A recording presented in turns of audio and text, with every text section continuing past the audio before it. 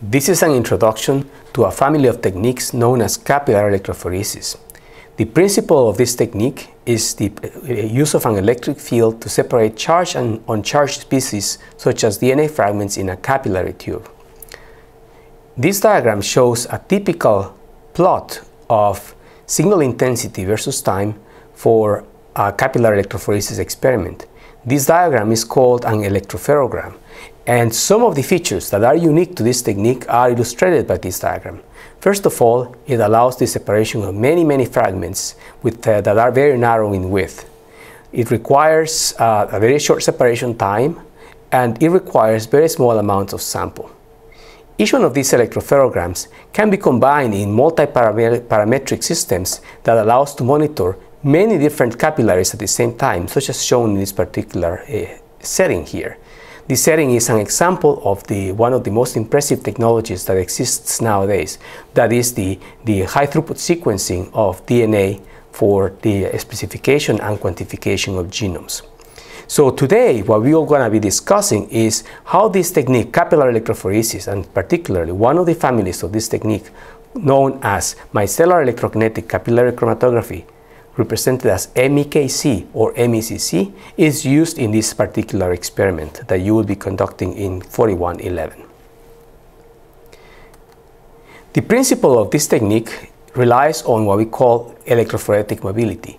To understand electrophoretic mobility, it's quite important to represent species either as uh, positively charged, two charges, one charge, neutral, negatively charged, one charge, two charges, and then describe the property of electrophoretic mobility. Electrophoretic mobility, represented as mu, is a function of the charge of the species divided by the viscosity, a constant, and the radius of the species. The higher the charge, the higher the electrophoretic mobility. The larger the radius, the smaller the electrophoretic mobility. The electrophoretic mobility is, is the characteristic that allows species like these ones to migrate or move in the presence of an electric field. So it is possible to calculate then the velocity represented as V electrophoresis as a function or product of the mu times the electric field, which is the ratio of voltage over distance. So in the case of a capillary, this distance corresponds to the length of the capillary or the length of the detector. And as we can see here then, when we apply an electric field, positive species will migrate towards the right, neutrals will not move, and negative species will migrate to the left side of the screen. And the higher the charge, the larger the vector, the larger the velocity that we have in this particular case. From these particular definitions, it is possible to, during an experiment, calculate the migration time represented as t sub m and can be determined experimentally from parameters such as the length of the capillary, the length to the detector point, the electric field, and the uh, voltage that we have in the particular system. So in this particular experiment then, what we will try to do is to use these principles. But, bes uh, but besides the principle of electrophoretic mobility, there are going to be two more fundamental properties that we need to, invest to describe. The first one of these is what we call the electroosmotic flow. Electroosmotic flow consists or results from the presence of negatively charged, negative charges, negatively charged walls on the surface of the capillary. The inside wall exposed to a liquid usually has the property of ionization. That is, silanol groups or SiOH could be either protonated or deprotonated as SiO minus. This happens particularly when the pH of the buffer is high. To counteract the negative charges on the surface, the solution will bring or will show positive charges or positive ions or cations close or nearby. The farther away we move from the wall, the more hydrated these ions will be still maintaining the positive charge. In the presence of an electric field, these positive charged ions loosely attached due to their hydration will form hydrogen bonding with water molecules, resulting in a bulk flow that is known as electroosmotic flow, going from the positive side to the negative side of the electric field.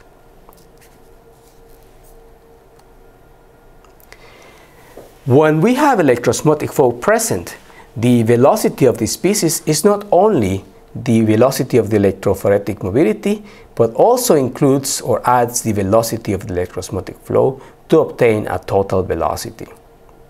So what that means then is that for all these species, positively charged, neutral, and negatively charged, the forces are going to be added to result in a net vector that is going to be much larger for the positively charged species.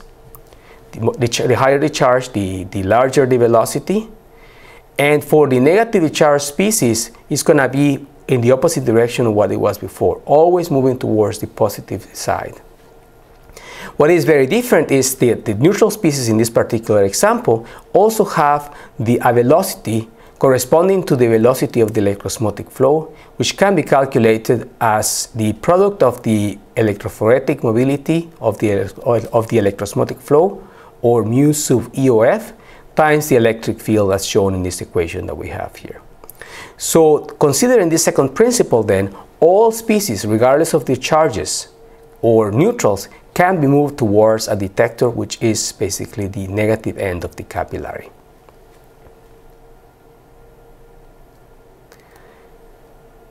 This is an example of how one can envision within the capillary the movement of species due to the electroosmotic flow. Electroosmotic flow represented here by this yellow arrow moving from the positive side to the negative side, being stronger than any other forces present in the system.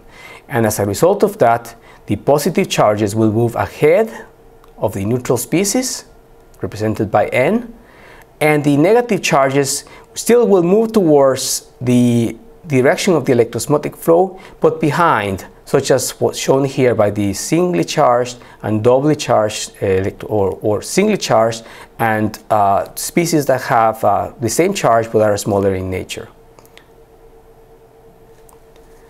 The third concept to consider in the technique that we are discussing today, or MEKC, is the presence of a surfactant in the separation buffer. The key feature of the surfactant is, is that its concentration must be higher what, of what is called the critical micellar concentration or CMC.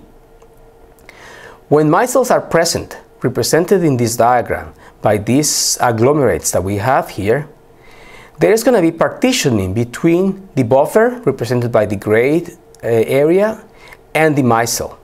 And the different analytes represented here by the square, the triangle, and the, and the diamond could be partitioning different within the micelle. It is also noticeable that in addition to the micelle, there is going to be surfactant molecules free in solution. That is because these micelles are dynamic. They are in pseudo-equilibrium. So when there is an electric field, in addition to the electroosmotic flow and the electrophoretic mobility of the species in solution, the micelles will also experience their own electrophoretic mobility, which may have an effect on the separation of species as we see in the following slide. So due to the fact that micelles are present, it's possible to envision that the analytes or the species could either be distributed between the buffer or the micellar phase. This concept or this ratio is known as the retention factor or K prime.